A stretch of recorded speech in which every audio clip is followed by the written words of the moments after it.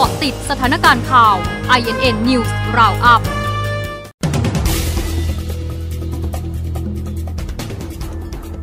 12นาฬิกา12 นาที มวลชนรอรับ 8 แกนนำกปปส หน้าเรือนจำ ทนายเผยหารือประเด็นอุทธรณ์แล้ว ยืนยันชุมนุมตามรัฐธรรมนูญ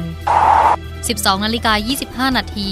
รัฐมนตรีว่าการกระทรวงพาณิชย์เผยรอปปชชี้มูลความผิดคดีออกคอสอส่วนประธานบอร์ดจะลาออกหรือไม่ขอให้พิจารณาตนเอง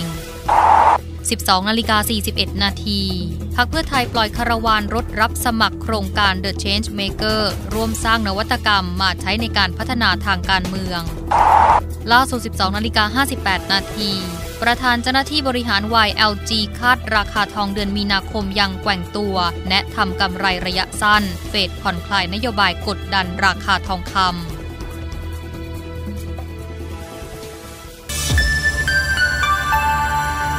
ติดสถานการณ์ข่าว INN News Roundup